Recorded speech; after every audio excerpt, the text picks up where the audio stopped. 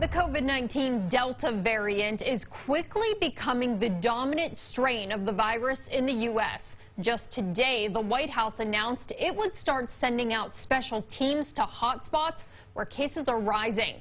Health experts say it's vaccines, not masks, that are the solution. Summer came and many COVID restrictions lifted. But now health officials are keeping a close eye on a new strain of the coronavirus.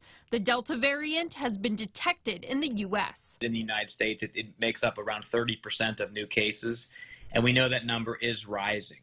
So we assume that it's here in the valley. We assume that it's in our hospitals. Now, many are asking if another mask mandate will be put into place to slow the spread, whether you're vaccinated or not.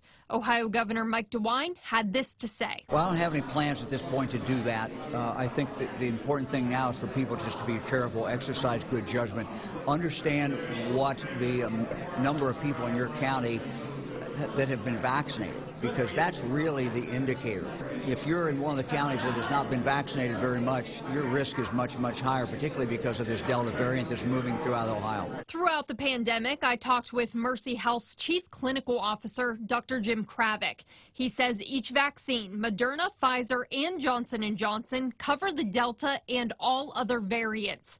There's still a risk you could get sick. First of all, it's very, very infrequent, very rare and it's very mild as well. And that I think is the important piece to remember about the vaccine. The vaccine does protect us and the vaccine does save lives. Dr. Kravec says the demand for COVID vaccines has gone down locally, which is part of the worry, but he wants to remind the community. We're still giving them Monday through Friday uh, at our at our sites, but in reality, uh, it's a very small number coming in every day.